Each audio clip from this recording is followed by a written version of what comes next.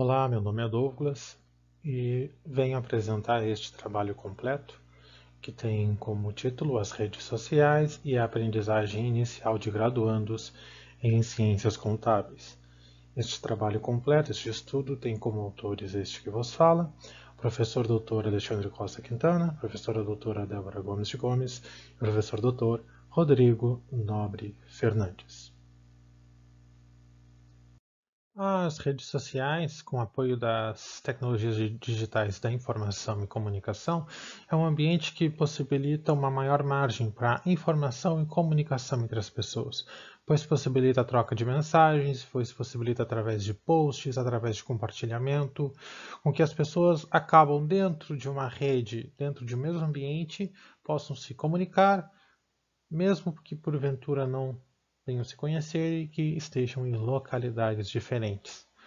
Assim, o objetivo dessa pesquisa é analisar os efeitos que a utilização das redes sociais provoca em nível inicial de aprendizagem, tendo como indicador desses efeitos o desempenho acadêmico. E pesquisas já foram feitas uh, anteriormente para tentar estabelecer relações entre as redes sociais e o desempenho acadêmico. Pode-se destacar a pesquisa de Belur da WAC-RU, onde eles afirmam que estudantes que realizam multitarefas nas mídias sociais uh, tendem a ter um desempenho acadêmico menor, e as pesquisas de Souza e Schneider, 2016, onde eles defendem que o Facebook ou as redes sociais possam ser utilizados desde o início como recurso pedagógico para a capacitação docente.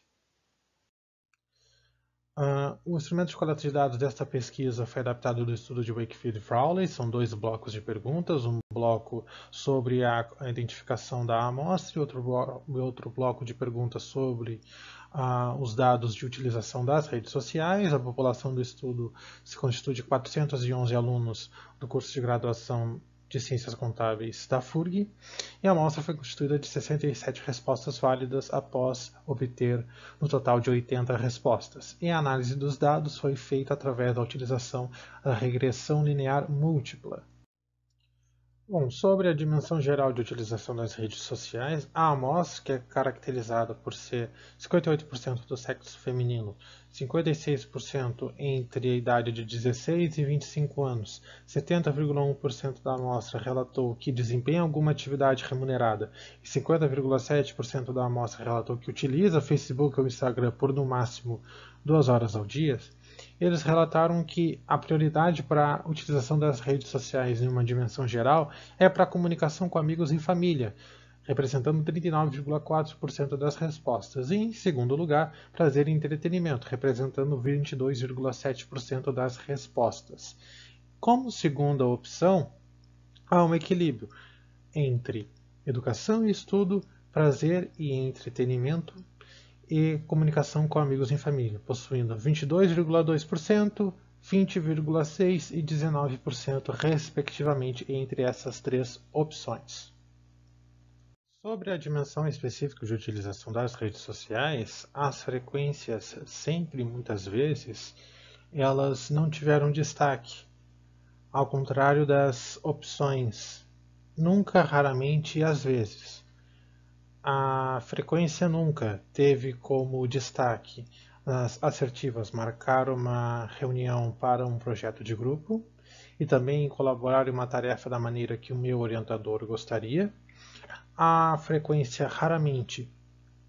teve como destaque em organizar um grupo de estudo pessoal, teve também destaque em uh, discutir um trabalho da faculdade e ajudar a gerenciar um projeto de grupo. E a opção às vezes teve destaque em perguntar a um colega sobre ajuda na aula e contatar o estudante sobre alguma dúvida sobre a aula ou algum trabalho. E os resultados evidenciados pela regressão mostram que a variável especificidade de uso do Facebook e Instagram, na sua dimensão específica, ela é significativa ao nível de 10%, em afirmar que, aumentando a nota de ingresso do curso do Enem em 1%, reduz, em média, a especificidade de utilização em 5,5%. Este resultado confronta os estudos de Vieira 2017, pois o Facebook, que foi uma das redes sociais adotadas nessa pesquisa, teve pouco engajamento dos alunos durante a pesquisa, através dos resultados encontrados, confronta também o estudo de Wakefield e Frowley, pois eles concluíram que o tempo despendido nas redes sociais impacta na, no desempenho acadêmico, principalmente daqueles estudantes que têm um desempenho acadêmico baixo, e esta variável nesta pesquisa não teve significância, e corrobora o estudo de Silva et al. 2012, ao afirmar que, para amostra relativamente pequena, a variável horas de uso não possui significância. E como considerações finais, Uh, Pode-se concluir que, das variáveis analisadas durante este trabalho, horas por dia no Facebook, Instagram, gênero, faixa etária, perfil de trabalho e variável uso específico, apenas esta última se mostrou significativa. Como limitação deste estudo, pode-se destacar a amostra e a população da pesquisa dada por acessibilidade e o período em que a pesquisa foi realizada durante a pandemia do novo coronavírus. E se sugestiona uma população maior para pesquisas futuras, para que possa dar mais robustez aos resultados e que possa evidenciar melhor os efeitos das redes sociais no desempenho acadêmico. Estas foram as referências utilizadas durante esta apresentação. E concluo essa apresentação. Muito obrigado.